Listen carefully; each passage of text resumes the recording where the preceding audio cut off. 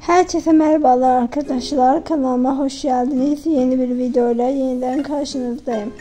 Rüzgarlı Tepe'nin oyuncularından kamera arkası kareleye geldi. Cemre Arda, Gökbek Yıldırım'dan kamera arkası görüntüler sizlerle paylaşıyor. Sizler de kanalımızı takipte kalırsanız paylaştığım videodan anında haberdar olabilirsiniz. Hoşçakalın.